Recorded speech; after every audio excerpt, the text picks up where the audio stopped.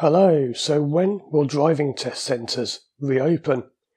There are two points you need to consider when we're thinking about this, and one of them was a point raised in the comments of a previous video by one of my viewers, and I want to say massive thanks to them to pointing this out because it's something I'd never even thought about before. So first of all, the lockdown is due to end on December the 1st, 2020. However, that does not necessarily mean the driving test centres will open again on December 2nd. The reason is, and this is what the person said in their comment, last time we had a lockdown, they allowed, was it two weeks or four weeks? I think it was two weeks. They said the test centres won't open until two weeks after the instructors had gone back. Because, of course, if people haven't had lessons for a while, they need to have some refresher lessons. Now, okay, the last lockdown was a lot longer than this one, but it does beg the question will they open test centres on December 2nd or not? Because we've only had one month off. It's about three and a bit weeks. So it won't have been that long that people have been taking off from lessons.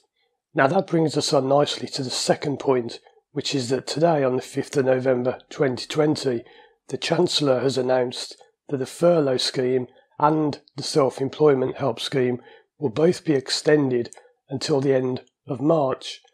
Not only that, but they're now going to pay self employed people 80% of their profits up until the end of January.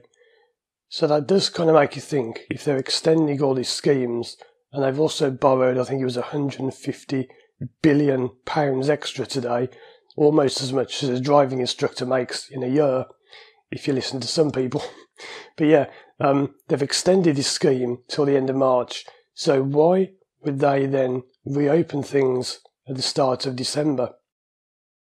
I think this lockdown is going to be a lot longer than one month. I think they've only said it's a month to kind of, you know, appease people. I really think this lockdown is going to last until at least into next year.